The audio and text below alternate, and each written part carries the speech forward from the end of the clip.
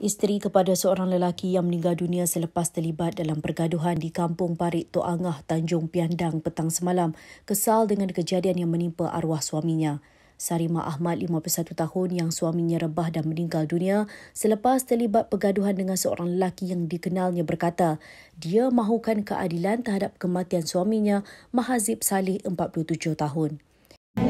Ada memberi amaran kepada aspek dia yang mencuri kelak pasal dia tu tapi tak terus mencuri. Berkali-kali dia mencuri. Betul lah. Macam hari kejadian tu kebetulan dia jumpa suspek untuk tempat kejadian tu.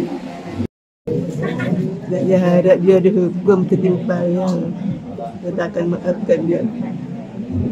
Apapun harap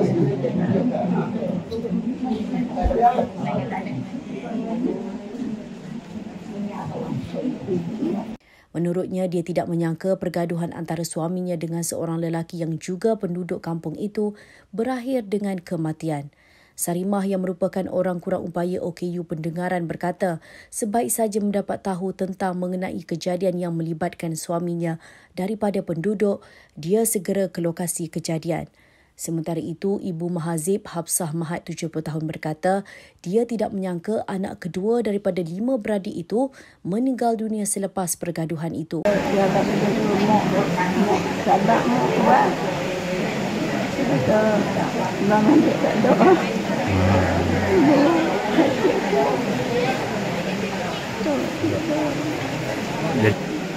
Kita pasal nak larang lah kan dia bukan apa orang buat dia nak dia cuma dia dia dia dia tempat sawit tak dia kerja benang kami pun tak tahu dia nak buat duduk dia dia